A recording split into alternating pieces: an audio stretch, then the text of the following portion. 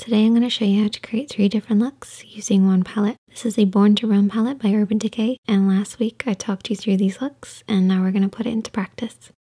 Let's start off with the basic neutral look. I've already prepped the lids with a little bit of concealer and we're going to start off with shade number one. Use a flat brush and apply this all over the lid, focusing on that inner corner.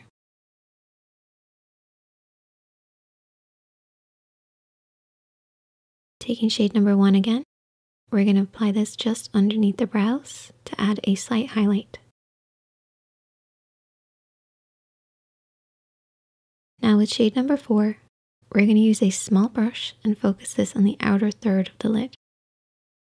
Try to keep this just on the lid. Don't bring this up too far. And begin on the outer third and then slowly start to sweep it into about the halfway point.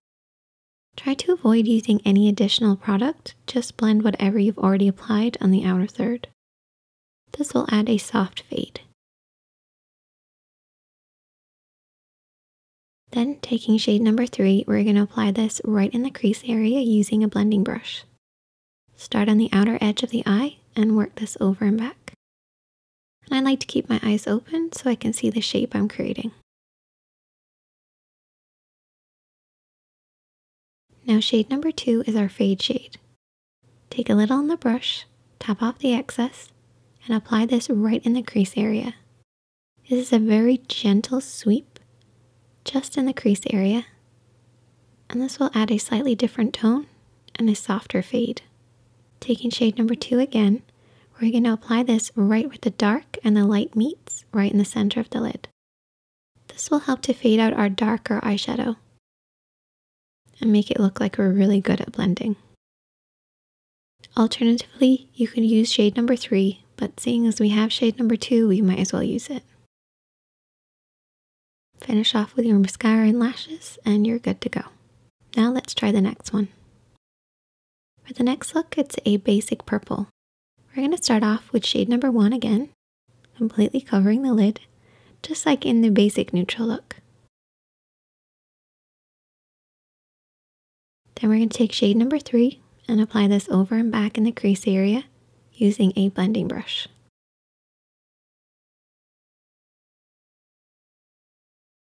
Once again, just like the basic neutral look. Then we're going to take shade number two and we're going to soften out any harsh lines and add a slightly different tone to the crease. Taking shade number four, we're going to apply this on the outer third. Keep this really close to the outer third of the lid. Unlike with the basic neutral look, we don't want to blend this in too far.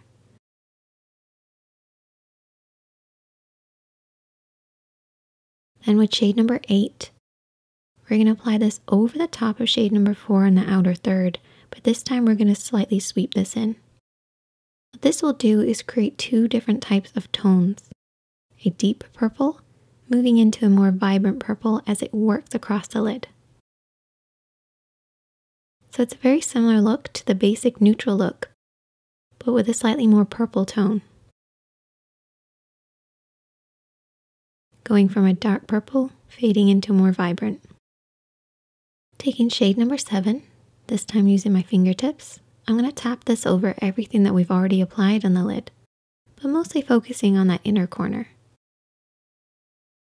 Try to make sure you don't touch the crease too much, particularly if you have hooded eyes.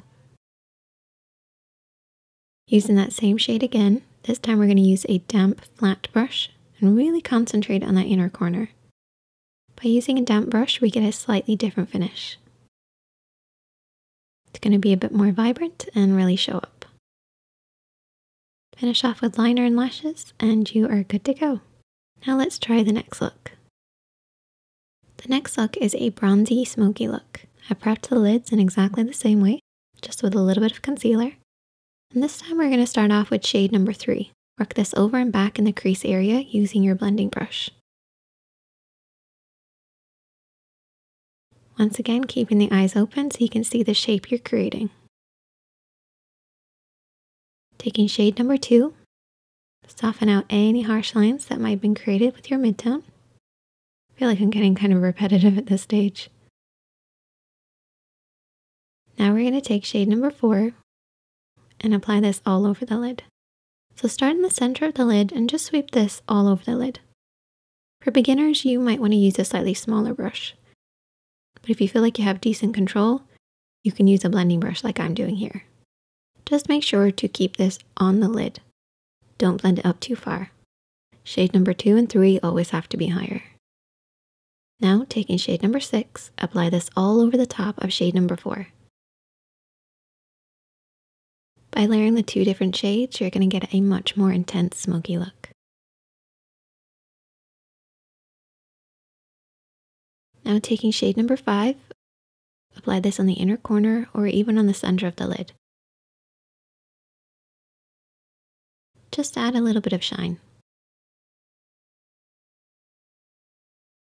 Once you've applied this, take your clean blending brush and soften out any harsh lines. I find a good smoky eye always starts a little messy before you start to clean it up with your clean blending brush.